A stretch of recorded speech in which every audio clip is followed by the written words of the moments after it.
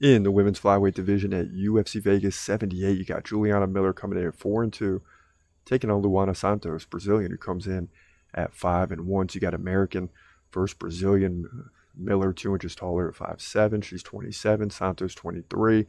Both still relatively young. Santos has a two inch reach advantage. Now, we know a little bit more about Miller because she's been in the UFC, fights right handed, about three significant strikes per minute, two takedowns over the course of three rounds, so slightly less than one per round. Lost to Veronica Hardy, gave up four takedowns, lost an easy decision there, outstruck 62 to 30. Beat Brogan Walker. Uh, I don't know if that was a TUF finale or what it was, but had four takedowns, 54 to 30 in significant strikes, won by KO in the third round. So not a bad performance. Now Santos is making the debut. Okay, fighting out out of LFA, lost the first one in LFA. That was her fourth fight, so she fell to three and one. Won the last two by decision and guillotine. In the five wins, three submissions, two decisions.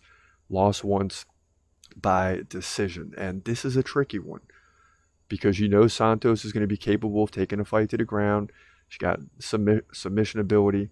They're looking at Juliana Miller like, you know, she lost the, the second UFC fight, uh, was taken down four times against probably a, a, fighter that's not as good at takedowns as Santos might be.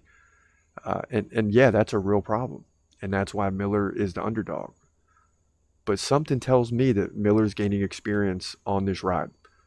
And you know, Santos is going to get better every fight. Miller's going to get better every fight.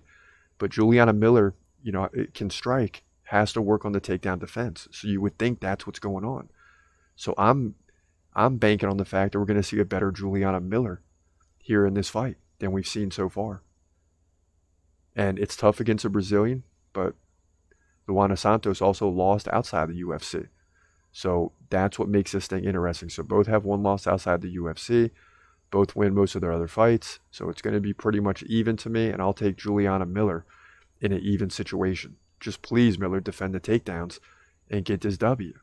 But I think that's what's going to happen.